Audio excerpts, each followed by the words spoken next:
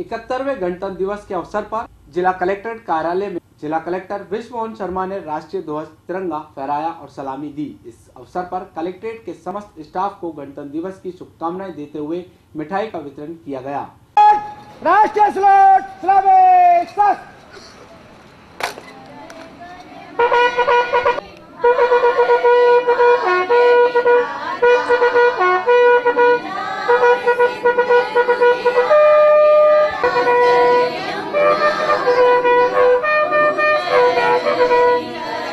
जाहि जाहि तब शुभ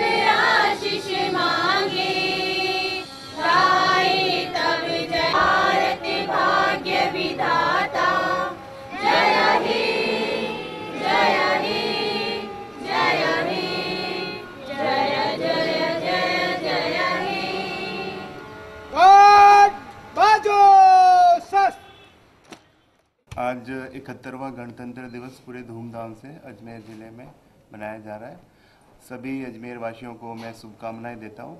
अपना राष्ट्र आगे बढ़ता रहे, तरक्की करता रहे, धार्मिक सौहार्द, भाईचारा और लोगों में प्यार, शांति कायम रहे, यही मेरा संदेश है। और, आज गणतंत्र दिवस के उपलक्ष्य में साढ़े नौ बजे मुख्य अतिथि है, हमारे जो है माननीय चिकित्सा एवं स्वास्थ्य मंत्री जी, उनके द्वारा पटेल स्टेडियम में ध्वजारोहण किया जाएगा और उसके बाद बच्चों के द्वारा सांस्कृतिक कार्यक्रम है और एक व्यायाम प्रदर्शन का कार्यक्रम भी है। तो मैं सभी अजमेर वासियों को शहर वासियों को शुभकामनाएँ देता हूँ और इकहत्तरवें गणतंत्र दिवस के समारोह में शामिल हों और राष्ट्र की आगे बढ़ने में सभी उसमें सहायता करें। इसी तरह एसपी कार्यालय में एसपी कुंवर राष्ट्रदीप सिंह ने तिरंगा फहराकर सलामी दी। वहीं पुलिस बल द्वारा उन्हें गार्ड ऑफ़ ऑनर दिया गया। सभी ने तिरंगे को सलामी देकर गणतंत्र दिवस की शुभकामनाएँ दी। इस मौके पर एसपी ने सभी कार्मिकों से हाथ मिलाकर उन्हें गणतंत्र दिवस की शुभकामनाएँ दी।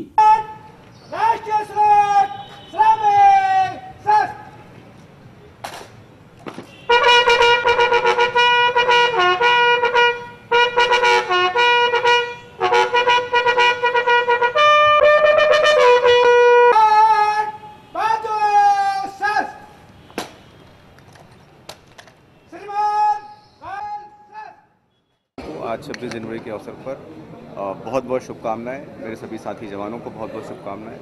मैं सभी को विश्वास दिलाना चाहता हूँ हमारे अजमेर पुलिस की तरफ़ से कि हम लगातार बेहतर काम करते हुए आप सभी की सुरक्षा, आज के इस दिन पर हम एक तरह से वचनबद्ध होकर के और बेहतर तरीके से सुनिश्चित करने का प्रयास उत्तर पश्चिम रेलवे अजमेर मंडल के एडीएस स्पोर्ट्स ग्राउंड पर इकहत्तरवे गणतंत्र दिवस के अवसर पर आयोजित समारोह में मंडल रेल प्रबंधक ने ध्वजारोहण किया। समारोह में राष्ट्रगान के बाद मंडल रेल प्रबंधक ने मंडल सुरक्षा की अगुवाई में रेलवे सुरक्षा बल, सेंट जॉन्स एंबुलेंस और स्काउट गाइड परेड का निरीक्षण किया और रेल कर्मियों के नाम गणतंत्र दिवस का संदेश पढ़ा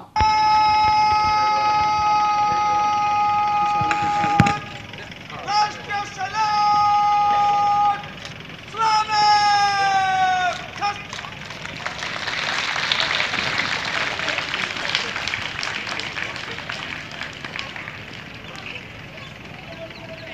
जनगण मन अधिनायक जय हे भारत भाग्य विधाता। भाग्य विधाता। जय हे जय हे जय हे, जय जय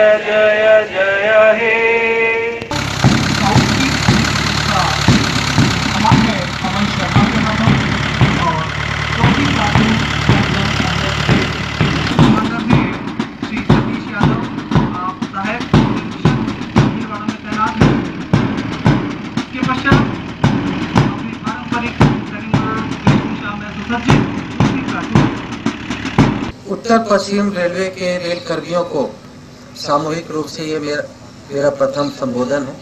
ये जो मैं पढ़ रहा हूँ, ये महाप्रबंधक साहब का संदेश है, इस गणतंत्र दिवस के उपलक्ष्य पे। मुझे प्रसन्नता है कि उत्तर पश्चिम रेलवे के कर्मचारी कार्य के प्रति सकारात्मक व ऊर्जावान हैं।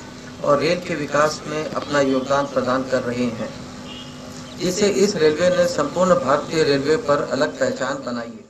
वहीं बजरंगगढ़ चौराहे स्थित शहीद स्मारक पर अजमेरू लेडीज़ सोशल सोसाइटी ने तिरंगा ध्वज फहराया।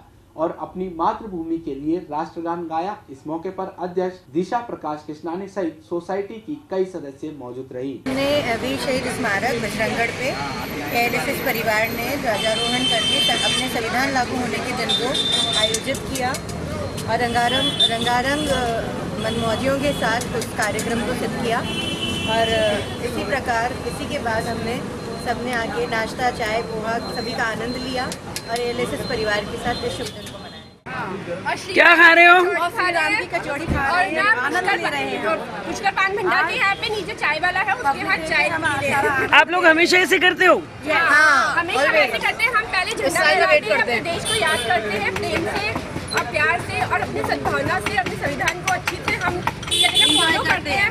और उसके बाद हम पेट पूजा भी अच्छे हैं स्वामी न्यूज़ के सभी दर्शक तरोताजा खबरों के लिए यूट्यूब पर स्वामी न्यूज़ को सब्सक्राइब करें। साथ ही शहर से जुड़ी तमाम खबरों के तुरंत अपडेट्स के लिए बेल आइकन पर क्लिक करें। यह न्यूज़ आपको कैसी लगी? इसके लिए हमें कमेंट बॉक्स में आपके अमूल्य सुझाव दीजिए और इस वीडियो को लाइक व शेयर करें।